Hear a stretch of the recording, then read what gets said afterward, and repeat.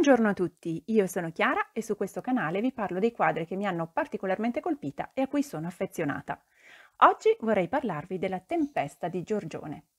Zorzo di Castelfranco, chiamato poi Giorgione, nasce in Veneto, per l'appunto a Castelfranco, nel 1478.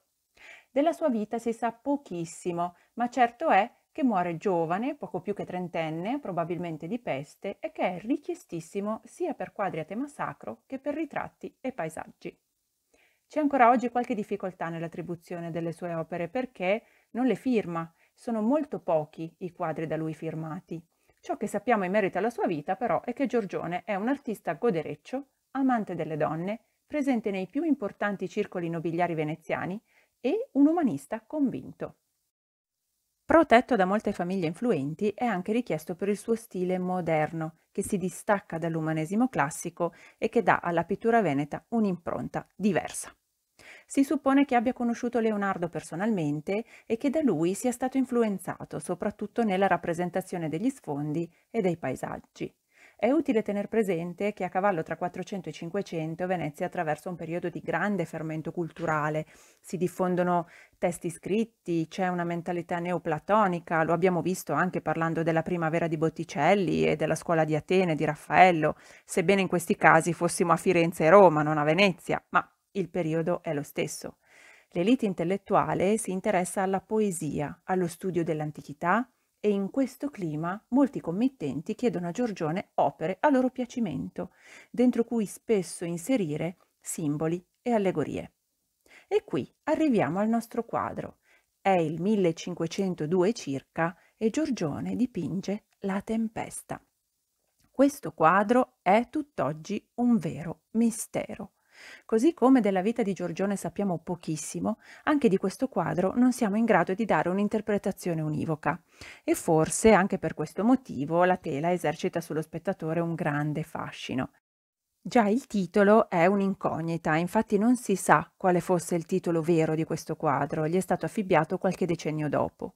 Inoltre dagli studi con i raggi X si è visto che al posto della figura maschile era stata dipinta originariamente una figura femminile, nuda, poi coperta e modificata.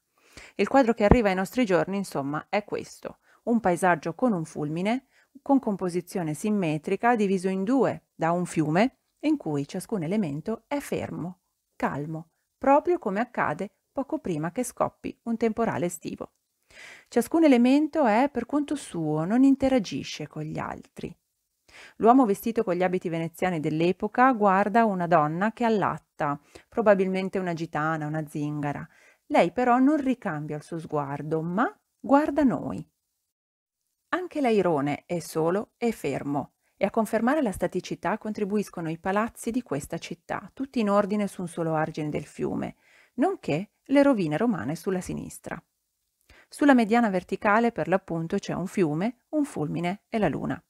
Visto così questo sembra un paesaggio semplice, eppure sono state veramente innumerevoli le interpretazioni che ne sono state date nei secoli. Alcuni parlano di una versione contemporanea di Adamo ed Eva, altri eh, del ritrovamento di Mosè salvato dalle acque, altri ancora di un'allegoria del conflitto tra Venezia e Padova, si intravedono infatti il simbolo della città di Padova, qui in questo palazzo, e il leone di Venezia in quest'altro palazzo. Altri ancora parlano di un'allegoria tra forza, fortuna e carità. Insomma, nessuna interpretazione però al momento soddisfa pienamente e forse ciò che è più utile fare da spettatori è ammirare il quadro in quanto tale ed eventualmente, se siamo proprio ispirati, dare una nostra personale interpretazione al tutto.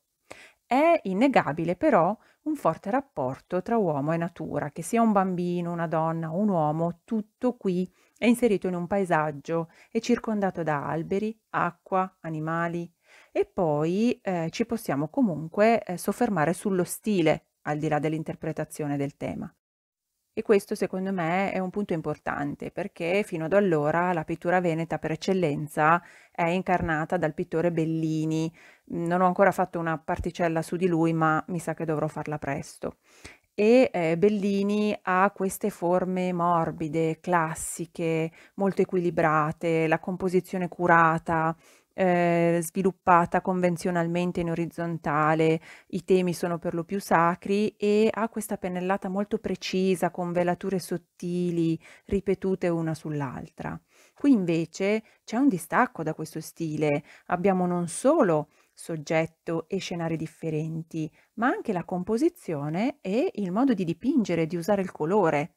Giorgione utilizza l'olio in modo più corposo rispetto a Bellini, si ispira più allo sfumato di Leonardo, lo abbiamo accennato all'inizio del video, e riprende l'idea del paesaggio che si allontana verso l'orizzonte. I colori sono molto carichi mh, mm, e si serve anche di contrasti che quasi ci fanno percepire l'umidità dell'aria, il venticello che muove le fronde, il grigio che ci anticipa proprio l'arrivo del temporale. Nulla in questo quadro è convenzionale. Qui tutto è lontano dai canoni e dall'iconografia del tempo. È un quadro che potremmo definire di atmosfera.